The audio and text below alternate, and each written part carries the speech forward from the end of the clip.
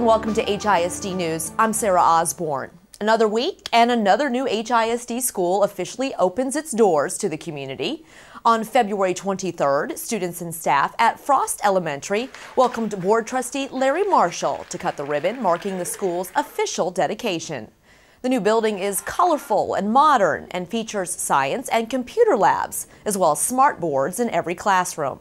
All the state-of-the-art amenities were made possible because of the $805 million bond referendum passed by voters in 2007. That was the elementary bond, and I think our communities, and who kind of were uh, fighting against the bond back in 2007, they're seeing the results of their labor and of their vote, of the passing bond. So what's really important is for our communities to also realize that our secondary schools are in really bad shape. So we've got to make some big decisions on making sure that the schools, the middle schools and the high schools that these kids feed into are also this type of facility.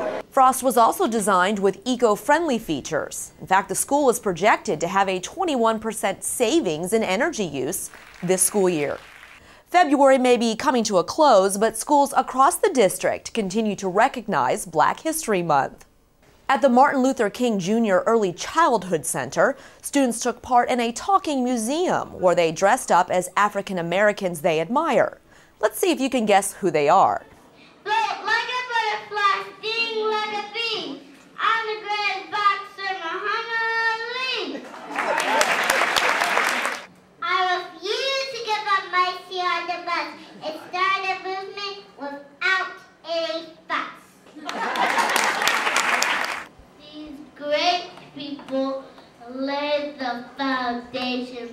For me to become the first black president in history. In addition to the Living Museum, MLK students performed several songs and a play about the Tuskegee Airmen.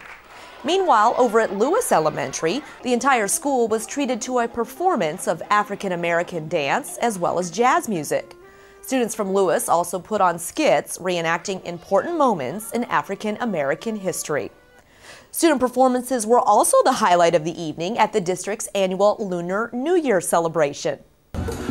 More than 400 people attended the festivity, which featured Mongolian, Indonesian, and Chinese dance routines.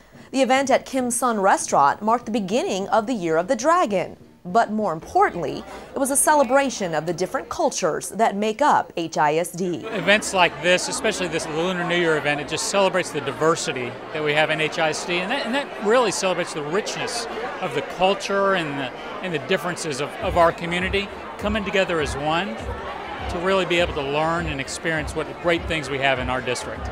In addition to the student performances, the event also featured exhibits showcasing different Asian cultures, as well as an awards ceremony honoring outstanding HISD teachers.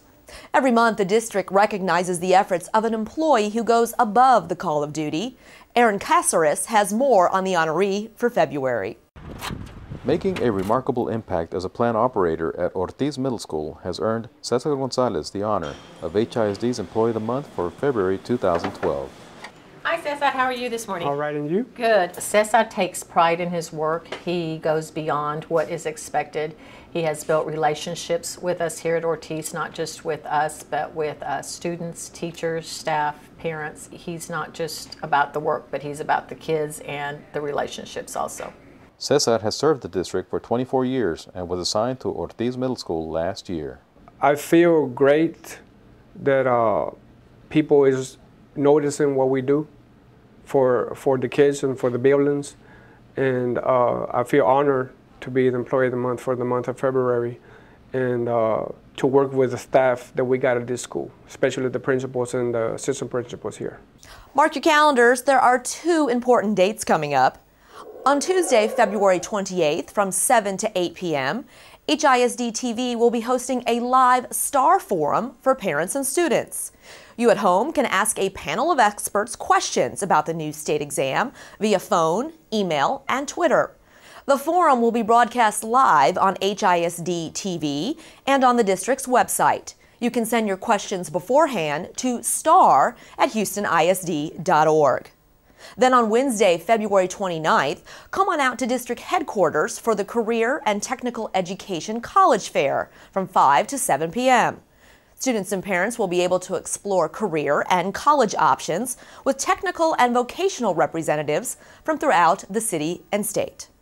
Time now for the HISD Fast Fact of the Week. Did you know that HISD warehouse workers deliver 500,000 products, supplies, and pieces of furniture every year? That's it for this edition of HISD News. Be sure to check us out on Twitter, YouTube, and Facebook. We leave you now with more sights and sounds from the Lunar New Year celebration. I'm Sarah Osborne, and I'll see you next week.